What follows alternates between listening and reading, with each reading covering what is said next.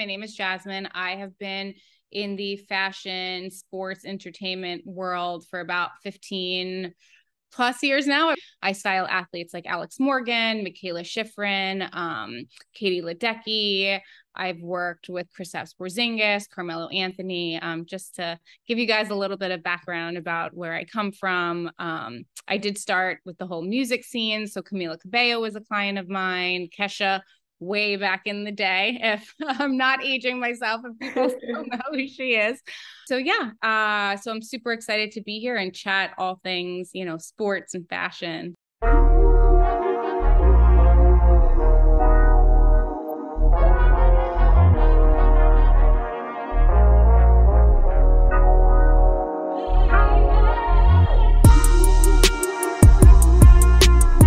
Welcome to the second episode of the Did You Play Sports video podcast. Jasmine is a celebrity and athlete stylist, and I'm so excited to hear more about her journey into the fashion industry combined with her love for sports. Um, hi, Jasmine. So great. Hi, Jordyn. Thanks so much for having me.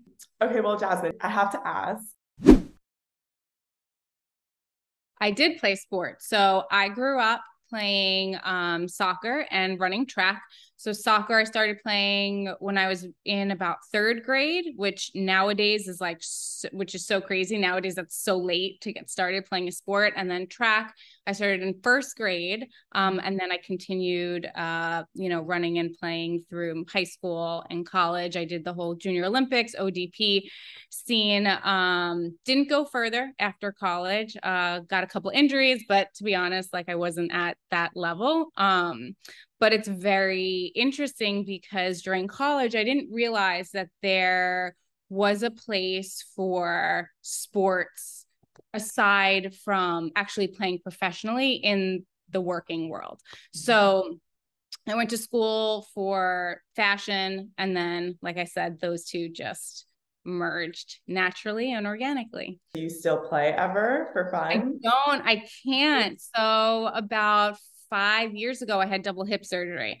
So oh, wow. because of that, I still feel like I'm in an 80 year old body. So I can't run anymore. Um, I mean, I'll go out and kick the ball with my son and, you know, stuff like that. But mainly my exercise now, um, which is tough for me because I want to be fully, fully active, but it's usually yoga, the Peloton, um, stuff like that. So unfortunately, I can't play. I hear about all these women's leagues and friends that I have that are playing. And I'm like, oh, I wish, I wish I could. But then I couldn't walk for four days after if I played. So.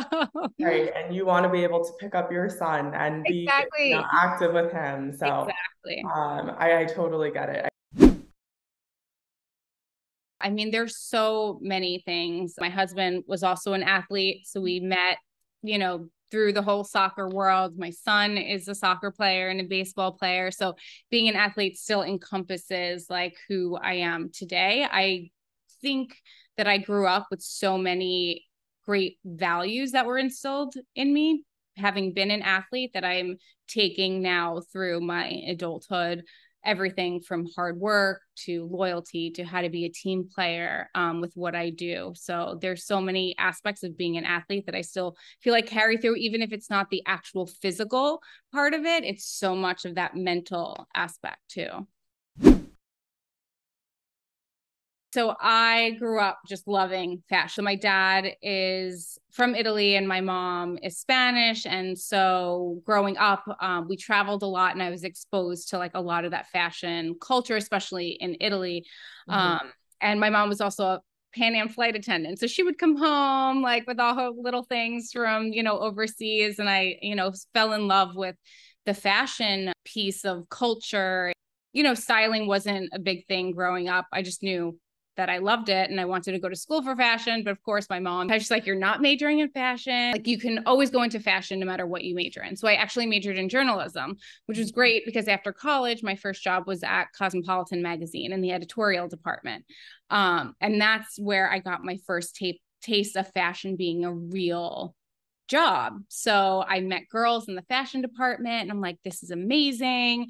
Then, you know, one thing led to another, position open in the fashion department. I interviewed for it, I got it. And then stylists would come in and back then it was like stylists or editors um, were main especially in new york were mainly just magazine based so these stylists would come in i'm like that is such a cool job like i didn't even know this existed so again another opportunity opened with a stylist freelancing. So i left the magazines and i went and interviewed with her ended up assisting this freelance stylist for five years and really getting a taste of what was out there in the styling industry. Magazines celebrity commercial there was so much. From there i just started working with different stylists in different capacities of the fashion industry. So i would go to la a lot and assist on that celebrity side you know met some athletes which is where i essentially found my um my niche and now here here i am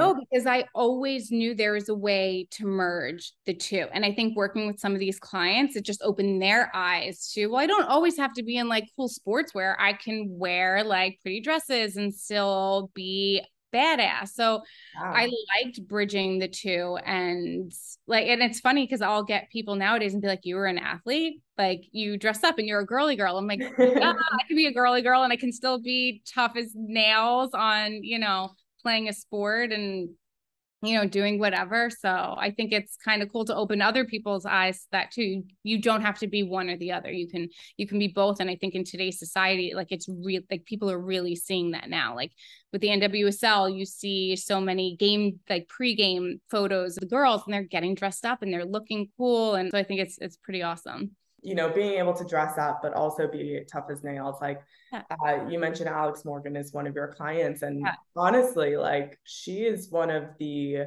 um, most prominent people I can think of who really embodies that badass on the field, also okay. badass fashion wise at the ESPYs. That's incredible. Like so much of that is shaped through the work that you do. So yeah, and it's great. Like with her, for example, we'll just you know, at a fitting, I'll roll in a rack of clothes and we'll try on everything. And it's awesome because you get to like play dress up and have fun and then throw your hair like the next day, throwing her hair in a ponytail, strapping on, you know, her cleats yeah. and just getting out there and getting after it. It's it's cool. And like you said, it's really important for young girls to uh to see the importance of that. You don't have to be one or the other.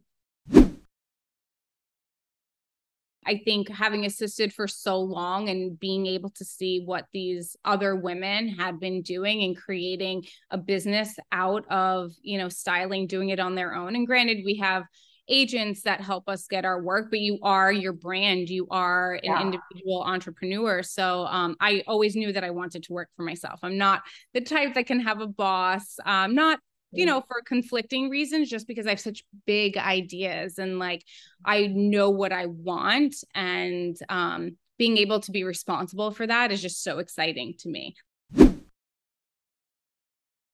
it was risky. So when I was assisting, I still went back to a magazine. I ended up going during that time that I said I was assisting Silas back and forth in LA and New York. I did go and work for Marie Claire. Um, and that was kind of like, I don't want to say the nail in the coffin because that sounds so negative, but it almost just solidified that I want to be working on my own. Like I'm ready to now take that leap and not assist anymore and really put myself out there and show people and show the fashion industry really what I can do and my ideas because I had this strong desire to style athletes and that be my my thing. It was it was risky because it wasn't a thing you know years ago 6 7 years ago that people were getting dressed up or people were even paying attention to athletes male or female you know and what they were wearing. And now athletes are celebrities in their own right you know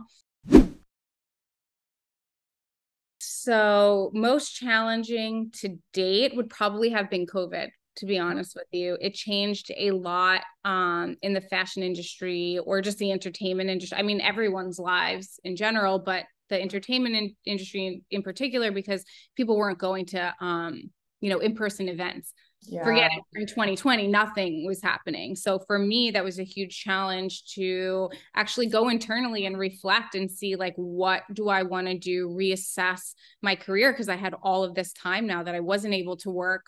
Um, there were a couple of things towards the end of 2020 that were starting to happen virtually. Even now still there's a lot that happens virtually. So i had to kind of really curtail what it is i want to do but it also gave me this push to be like, okay, this drive of, all right, sports and fashion is what you want to do, go for it. Just you have nothing to lose at this point. COVID happened, you lost, you know, yeah. a couple clients, or you lost, um, you know, the ability to work and do what you do. And for me, I go 100%. So my work, I feel like sometimes defines who I am. But I'm like, now you can really define who you are and what you want to do. So really pushing forward with sports and fashion, like it solidified that um, you know, that goal of mine.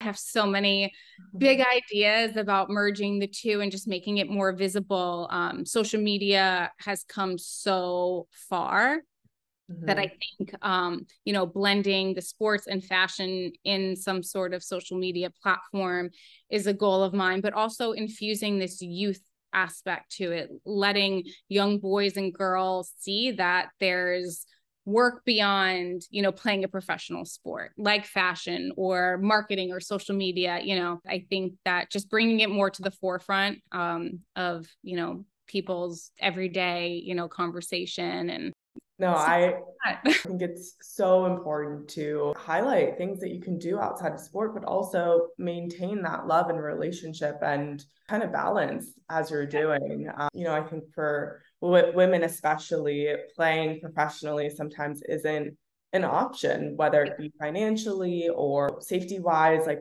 what kind of league you're in and, and injury and all that. Um, so it's really great to like hear from someone that has gone on to do something great while still maintaining sports yeah. in their everyday life. I, I wish I had someone like you when I was younger too. I know. I wish I had someone like myself just showing like and now again there's so many ways that people can, you know, hear about this and so many platforms to talk about it. I think that the conversation just needs to happen. I was speaking to a GM of an NWSL team yesterday, and she was saying, like, people don't realize, especially young girls, don't realize, like, you don't, if you play sports, you don't have to lose that love of sport once you graduate from college or once you graduate from high school and you're not going on to play your respective sport. There's so many different things that you can do from being an analyst now to, you know, being a GM or, you know, mm-hmm. essentially being a CMO at a, you know, professional sports team. Yeah. Being a coach, right. you know? Yeah. Even at the, like you said, the high school level, like I was so dedicated to sports in high school. If I had quit then, it would have been, you know, so hard for me to like yeah. move on and not include sports in my everyday life. So yeah. you're so right. I think I'm in the mindset of like, you know, we both played in college. The next step was professional, but even at that youth level, yeah. it's like you play for years and then um, kind of just to stop outright feels so wrong for I know. I know. You're like, how do I continue this love and this passion if I'm not playing? Yeah. But there's so many ways. Yeah. Thank you so much for your time, course, Anytime. I really appreciate it. Of course. I will speak to you soon. Yes. Talk okay. soon. Bye. Bye.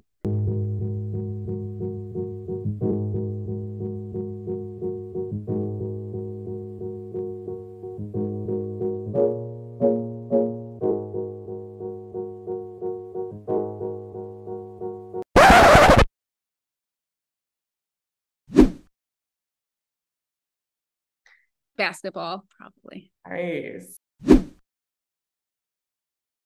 Always have a great fitting pair of jeans. Love. You can do anything with them.